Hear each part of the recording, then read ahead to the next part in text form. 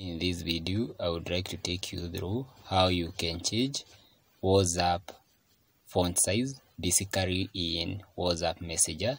So I'd like to show you where you can change the font size from large, medium or small in your WhatsApp. Basically, how I'm seeing is like I'm using the medium font size in my phone but you see so in order to get into the settings what you are required to do just click this three dotted icon in the upper right hand side of our whatsapp. Basically we are using messenger whatsapp as i have said.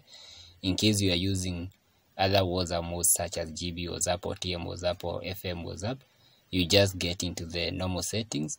After getting into the normal settings just come to where we have chats. And after coming to where we have chats you just come to where we have an option named as font size. So i was not wrong my estimation work i'm using medium. If you are having a problem or you just need bigger numbers you just choose large.